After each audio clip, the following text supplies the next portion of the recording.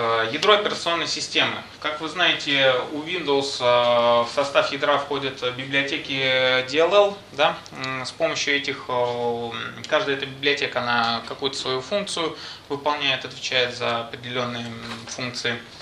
И ядро операционной системы, операционной системы Windows мы можем, скажем, дорабатывать под определенные задачи, под определенные программы. Но э, страдает в целом производительность всей системы.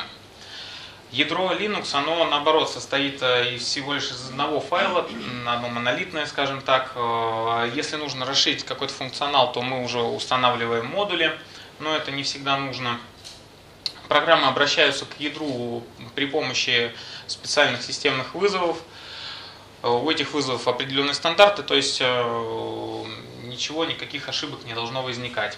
И, собственно, одно и то же программное обеспечение может э, работать на разных платформах под управлением Linux. То есть у вас, грубо говоря, э, флешка с программой установлена, да, вы эту флешку можете спокойно вставить в, разную, в разные системные блоки с э, операционной системой Linux, и программа будет везде работать. В Windows по-другому. Там программа уже устанавливается в реестр,